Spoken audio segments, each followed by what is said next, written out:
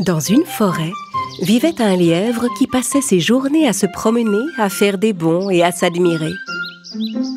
Il adorait se vanter auprès des autres animaux d'être le plus rapide de tous. Je suis l'animal le plus rapide de toute la forêt. Quelqu'un veut faire la course contre moi? C'est vrai qu'il courait très vite avec ses longues pattes. Les autres animaux détestaient sa façon de se vanter, mais ils devaient reconnaître qu'aucun d'entre eux ne gagnait jamais contre le lièvre. Oui, j'ai encore gagné la course. Normal, je suis le plus rapide de tous les animaux. Partout où il allait, le lièvre racontait qu'il était si rapide que personne ne pouvait jamais le dépasser. Ses paroles commençaient à agacer les animaux de la forêt. C'est vrai qu'il est le plus rapide de tous, mais ce n'est quand même pas une raison pour se vanter. Il faudrait que quelqu'un lui donne une bonne leçon. Tout ce que les animaux disaient sur le lièvre finit par arriver aux oreilles de la tortue. La tortue marchait très lentement. Elle mettait une journée entière à parcourir la distance que le lièvre courait en une minute.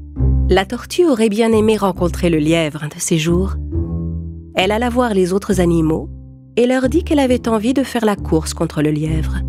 Tu veux faire la course contre lui? Même les animaux les plus rapides n'ont jamais réussi à battre le lièvre.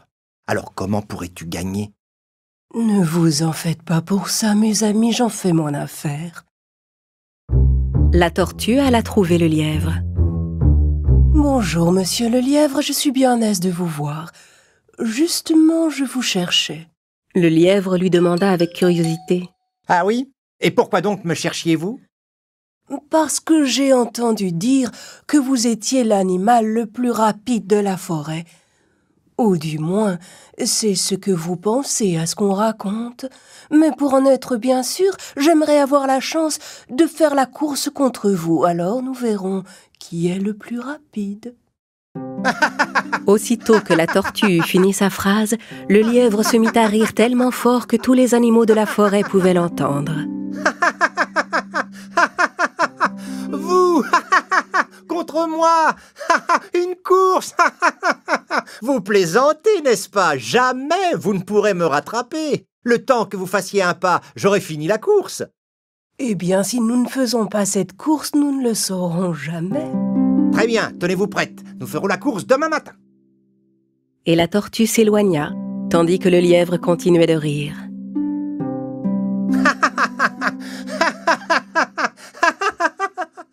Le lendemain matin, quand les animaux arrivèrent pour assister à la course, ils virent que la tortue était déjà là, en position de départ.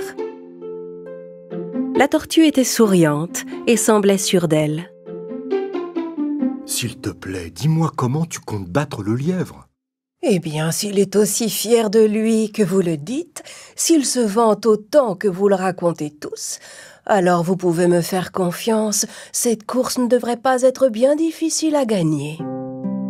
Peu après, le lièvre arriva en tenant une carotte et en arborant un grand sourire arrogant comme à son habitude.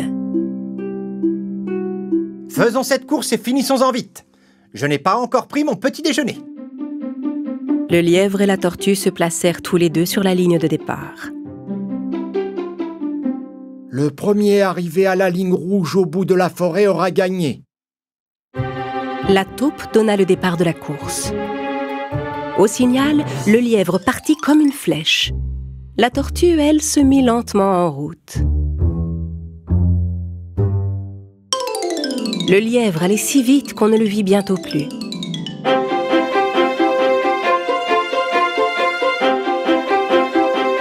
Les animaux qui assistaient à la course étaient certains que la tortue allait perdre. Après avoir couru un moment, le lièvre s'arrêta et regarda derrière lui. Il n'y avait personne en vue. À ce rythme-là, la tortue ne finira pas la course avant ce soir. Je vais m'asseoir un peu pour finir cette carotte.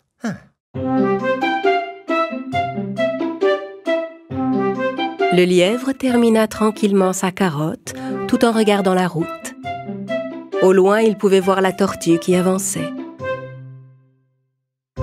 Avec un sourire narquois, il se leva et se remit à courir. Le lièvre était pratiquement arrivé au point d'arrivée.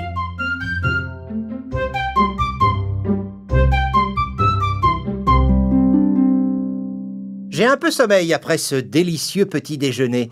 Je vais m'asseoir sous cet arbre pour faire une petite sieste. Le lièvre était tellement certain de gagner la course qu'il prit le temps de s'assoupir. Pendant ce temps, la tortue continuait d'avancer tout doucement, mais sans perdre confiance.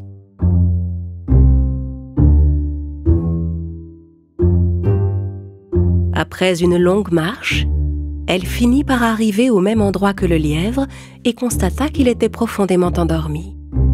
Sans s'arrêter, elle poursuivit sa route.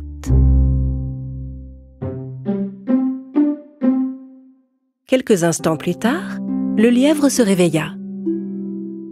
Il regarda autour de lui mais ne vit pas la tortue. Tiens, je ne vois plus la tortue nulle part. Elle a sûrement déjà abandonné.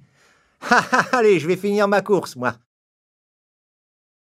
Tandis que le lièvre se rendait tranquillement au point d'arrivée, il fut stupéfait de ce qu'il vit. La tortue l'avait dépassé. En fait, elle avait presque fini la course.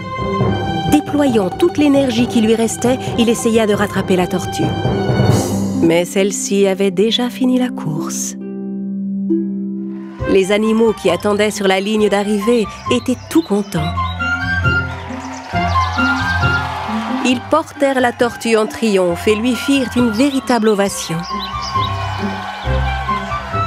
Le lièvre, lui, restait seul dans son coin, tout triste.